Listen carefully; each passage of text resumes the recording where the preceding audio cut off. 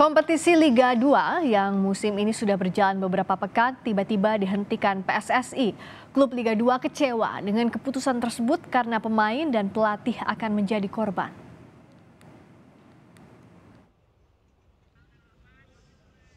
PSSI resmi menghentikan kelanjutan Liga 2 2022-2023 sesuai keputusan rapat Komite Eksekutif PSSI Kamis lalu. Dalam keputusan rapat ESKO, eksekutif komite telah memutuskan beberapa hal. Pertama tentang penghentian Liga 2 yang secara otomatis juga menghentikan Liga, Liga 3 nasional, tetapi tetap mempersilahkan untuk dilaksanakan Liga 3 nasional di tingkat provinsi dan dan dikarenakan Liga 2 tidak dilaksanakan maka tentu tidak ada degradasi Liga 1. Pemain muda berbakat PSMS Medan, Fardan Asmi Harahap, mengungkapkan kekecewaannya. Ia menyayangkan kompetisi baru saja bergulir kembali usai tragedi Kanjuruhan. Namun PSSI justru menghentikan Liga 2 hingga membuat pemain-pemainnya menganggur lagi. Saat ini, manajemen telah membubarkan PSMS Medan. Kita tuh lagi semangat-semangatnya karena dapat angin segar dari FIFA kemarin. Alhamdulillah tidak jadi sanksi. Tiba-tiba harus dihapuskan kembali oleh federasi sendiri. Jadi kesedihan yang menurut saya saya rasakan sangat sangat luar biasa.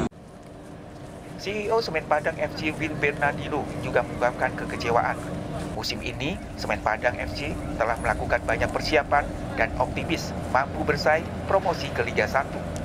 Kenapa kita juga kecewa? Karena kita sudah melakukan persiapan banyak gitu ya.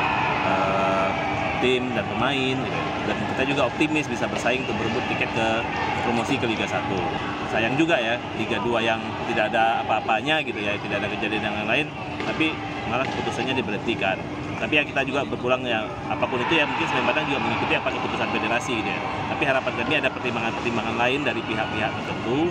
Mudah-mudahan ada solusi lah Penghentian Liga 2 juga membuat pemilik FC Bekasi City, Atta Halilintar mengaku bingung terkait kelangsungan gaji para pemain klub berjuluk si kuda hitam.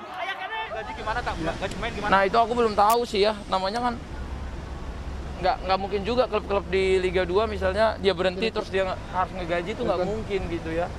Jadi saya akan uh, tanyain dulu ke manajemen dan di industri ini tuh ada pemain yang harus dipikirin, harus ada pelatih, harus ada segala macam.